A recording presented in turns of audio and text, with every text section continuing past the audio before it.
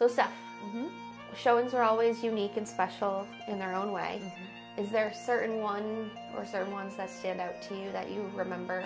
There's so many showings, but um, that I've had good stories. But there's one that it wasn't a bad showing. It was actually a great, it was a great showing. It was down on um, Echo Landing Road, uh, so very private. It was near the end, and it was a very quiet spot. It was summertime. It was a beautiful day. I remember it was like so peaceful. It was midweek. There wasn't a lot of boat traffic out, and um, it was kind of a long path down to the water somewhat.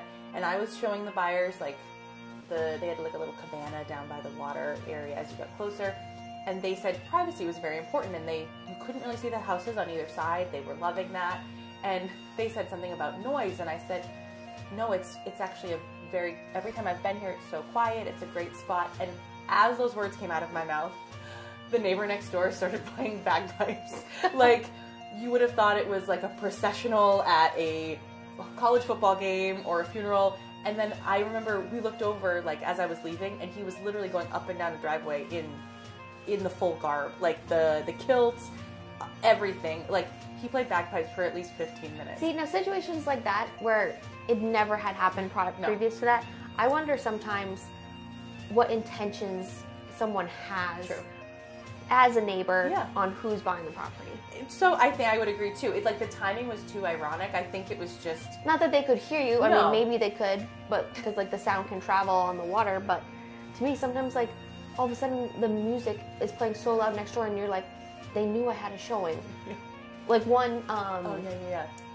Every time there was a showing, he'd go out and start blowing off his deck and And the property doing all line these was things. Yeah, very much like and he always wanted to like you know peruse the property line and be like, oh hey, you looking at the property? No kidding, he's looking at the property. It's like they want to stake their claim or like Yeah. pee on their territory. Oh, do you have any yeah. questions you Yeah. want to know about? Exactly. It's it was. This is my property line, in case you were wondering. And it, the funny part was that this it, the buyers were great. Like they had a good sense of humor about it because I think they trusted the fact that no, the guy next door doesn't always play bagpipes, Bagpipes, but yeah. it was and it usually is pretty quiet. But it was just so funny because I'm like, oh no, it's so quiet and private. And then it was like processional at a Notre Dame football game Yeah. next door, and Special. I'll never forget that. It was a beautiful day. I think I actually have it on my phone still as, as like a video because I wanted to remember the bagpipes in the background. But It's a great memory. it is a good memory. So you never know.